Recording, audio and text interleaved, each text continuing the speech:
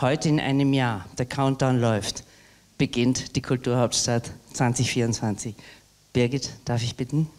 Auf den Tag genau ein Jahr vor Eröffnung der Kulturhauptstadt Salzkammergut 2024 begibt sich Birgit Minichmeier im Leha Filmtheater in Bad Ischl auf eine Reise aus der Welt von gestern in die Welt von morgen. Zu hören Stefan Zweigs Europäische Idee, geschrieben 1929.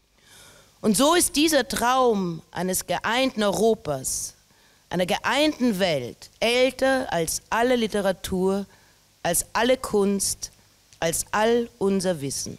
Stefan Zweig war ein so überzeugter Europäer, dass er sich durch nichts von diesem Gedanken abbringen hat lassen. Und von seinem Mut und seiner Zähigkeit könnten wir uns heute noch eine Scheibe abschneiden. So bündeln sich erstmals in der Geschichte überhaupt 23 Gemeinden in einem ländlich geprägten Raum zu einer gemeinsamen Kulturhauptstadt, reich an spannender Geschichte, die vor 7000 Jahren mit dem Salzabbau in Hallstatt begonnen hat. Ein schönes Gefühl zu merken, wie sie langsam zueinander kommen und wir wirklich ausgewogen in allen Gemeinden Programm erzeugen werden, das hoffentlich eine Nachhaltigkeit aufweist und vor allem darauf hinweist, dass mit Kultur und mit Kunst sehr viel zu bewegen ist. Sie werden aus Erfahrung wissen, dass jede neue Generation wacher und früher wach ist als alle vorhergehenden, dass sie keine Zeit mehr hat, wie die Vergangenen zu träumen und auch gar nicht den Willen dazu.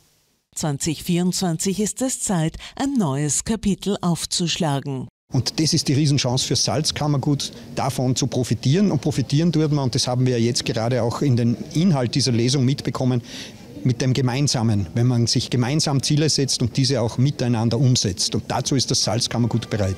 Ab 2024 steht eine Vielzahl aus historisch verwurzelter und zeitgenössischer Kunst und Kultur im Programm. Von Welturaufführungen, gemeinde- und länderübergreifenden Veranstaltungen bis hin zur traditionellen Hausmusikrohrs nach einer Idee von Franz Welser Möst. Also man spürt diese Tradition, aber ich glaube, man spürt auch einen Aufbruch und ich glaube auch, dass das Kultur ja hier noch viel leisten wird. Eine wunderbare Herausforderung. Und wir dienen jeder unserem eigenen Lande mehr, indem wir es vor ganz Europa repräsentieren. Zu allen Veranstaltungen, die es da gibt, es wird ein wirklich ein bunter Strauß werden, der sich über die gesamte Region zieht und es wird eine Reise wert sein. Eine Reise, die mit 19. Jänner 2024 beginnen wird und deren Vorbereitungen auf Hochtouren laufen. 1929